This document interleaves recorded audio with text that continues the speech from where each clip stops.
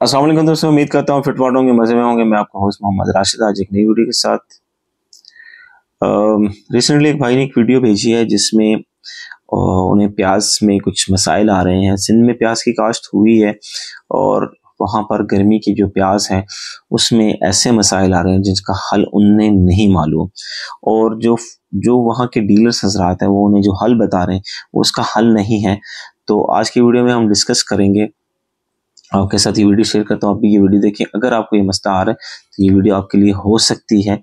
तो वीडियो के साथ जुड़े रहें और देखते हैं इस वीडियो में हम इस बीमारी का हल ढूंढते हैं। असलकुम राशिद भाई वीडियो था तो जोड़ो मेरे पदे माने।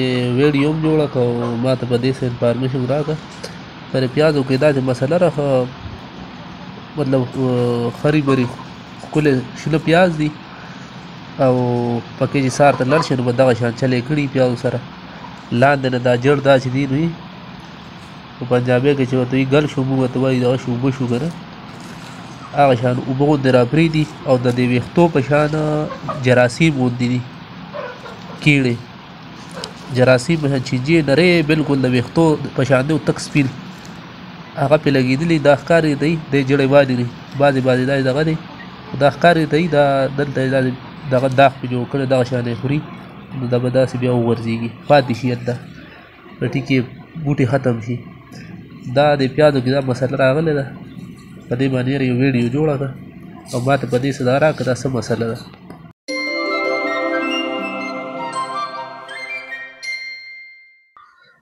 बसमीम प्याज जो इस वक्त गर्मी की जो काश्त सिंध में या कुछ इलाकों में काश्त हुआ हुआ है, उन इलाकों में ये अजीब सी बीमारियाँ फार्मर्स को आ रही हैं और उन बेचारों से ये कंट्रोल नहीं हो रहा।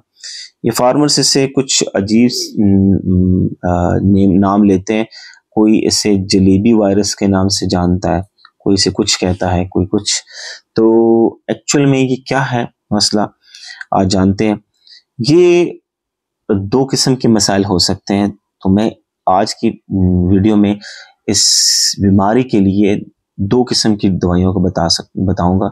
क्योंकि वीडियोस में हमें सारे प्रॉब्लम्स का नहीं पता चलता। किसी की तस्वीरों से हम सारे जजमेंट नहीं कर सकते कि ये क्या बीमारी है। मैं अपने एक्सपीरियंस के बेसिस पे आपको ना दो बीमारियों के इलाज बताऊँगा। इसमें सिर्फ़ एक ही मेडिसिन एक्स्ट्रा है, जिसकी वजह से आप ये दोनों दोनों बीमारियाँ कवर हो जाएँगी। तो एक ये डैम्पिंग ऑफ़ हो सकती है, ठीक है?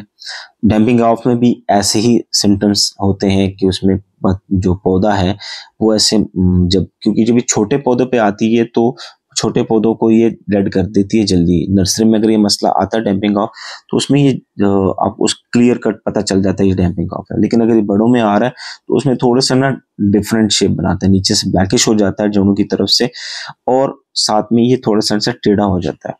अगर ये मसला आपके पास आ रहा है तो ये डैम्पिंग ऑफ़ ही है।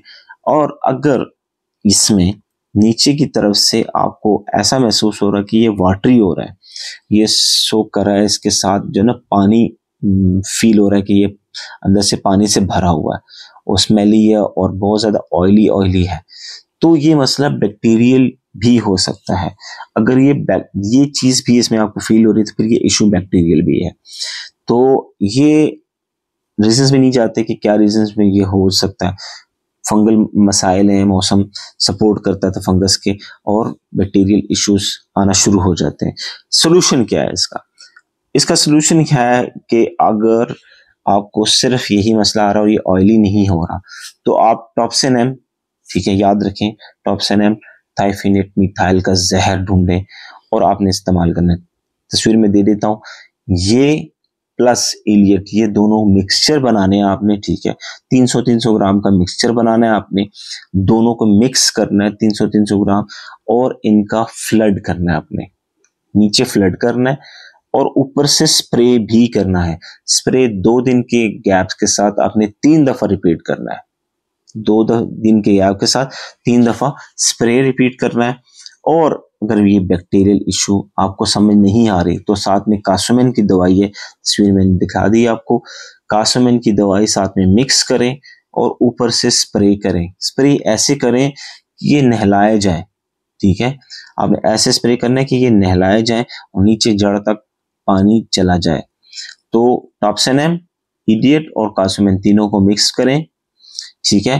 500 सौ की बोतल कासुमिन की आती है ढाई सौ एम की इलियट की और तीन सौ एम की तीन सौ ग्राम की। और जो है ना, आपने टॉप्सनम लेना है, ढाई सौ ग्राम इलियट लेना है और पाँच सौ एम आपने कासुमिन लेनी है। इनको मिक्स करना है 120 लीटर पानी में और स्प्रे करना है। स्प्रे ऐसे करें कि नीचे तक पौधे नहलाए जाएँ।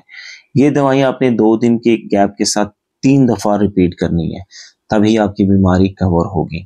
इनशाला इनशाला कवर होगी। ये जो दूसरी दवाइयाँ लोगों ने बताई हुई हैं, ये काम नहीं करती। प्लीज़ अच्छी दवाइयों का इस्तेमाल किया करें। आप फ़सलें महँगी काश करते हैं और फिर इधर उधर की फजूल दवाइयाँ इस्तेमाल करके अपना टाइम ज़ाय करते हैं। तो जो दवाइयाँ मैंने बताई हैं प्लीज़ इन्हीं को ढूंढें। और मुझे दूसरी दवाइयाँ बेच के मुझे तंग मत किया करें कि ये दवाइयाँ काम करेंगी कि नहीं करेंगी, ठीक? तो कोशिश किया करें, जो दवाई बताई है, वही दवाई ढूंढें, ठीक है? इनशाला वो काम करेगी। उम्मीद करता हूँ आपकी वीडियो आज की वीडियो से आपको कोई ना कोई फ़ायदा हुआ होगा। अगर वीडियो अच्छी लगी है सत्यादारी समझ के दूसरे भाइयों के साथ शेयर करें ताकि उनके मसाइल भी अल्लाह ताला हल करे। मैं ज़रिया बन सकता हूँ, दवाई बता सकता हूँ, मैं किसी चीज़ का सोल्यूशन नहीं हूँ तो हम पूरी कोशिश करते हैं कि किसी को अच्छे मशवरा दें ताकि उसका फ़ायदा हो जाए। तो मैं इसे सदका जारिया समझता हूँ और इमानत समझता हूँ ताकि लोगों तक अच्छी इन्फॉर्मेशन पहुँचे। तो हमें याद रखिए, अगर वीडियो अच्छी लगी तो लाजमी शेयर कीजिएगा। तो हमें याद रखिए तब तक के लिए असल